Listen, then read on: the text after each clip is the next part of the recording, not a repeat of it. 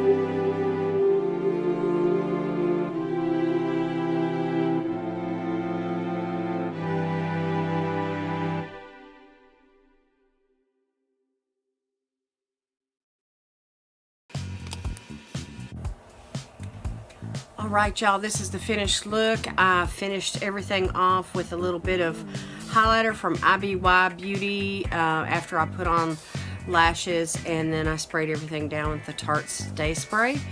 And so anyway, I really did it up kind of heavy today on my cheeks, but I was just in the mood for all that. And uh, but anyway, I really like the way the eye look turned out. Those colors blend really good together. And at first I thought by going in with these blues and then that green that that was really going to be enough. And then I wasn't satisfied and I thought, ooh, I think that purple would just blend everything really good together and I wanted to use the purple on the bottom lash line as well. So I used everything in this top row and then of course I used um, this one here to start out with and then I went into this one here and then uh, no it was this one here was second and then this one here was third and then I've used this little light one here in the inner corner so I used um, eight of these shadows to create this look today. So I'm really happy with the way it turned out and everything. But you'll have to let me know what you think down in the comments and let me know if um, this is a palette that you would like to use or not. All right, my 800 subscriber giveaway should be coming up really, really soon. I only like a couple of people. So if you don't mind, just share me out on the community tab if you have the community tab and or any platform. It doesn't matter, Facebook, um, you know, Twitter, um, Instagram. It doesn't matter what platform you choose. Just share me out if you would, please. And I appreciate everybody coming today, watching the video and everything. And uh, I look forward to uh, chatting with you in the comments. All right, thank you so much for watching, clicking like and subscribe and all those good fun things. I appreciate y'all. Thank you so much. All right, God bless you today is my prayer. I'll see you next time. Bye-bye.